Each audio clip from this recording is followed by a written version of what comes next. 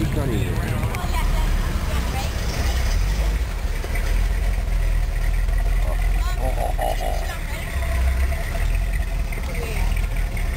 You sleeper.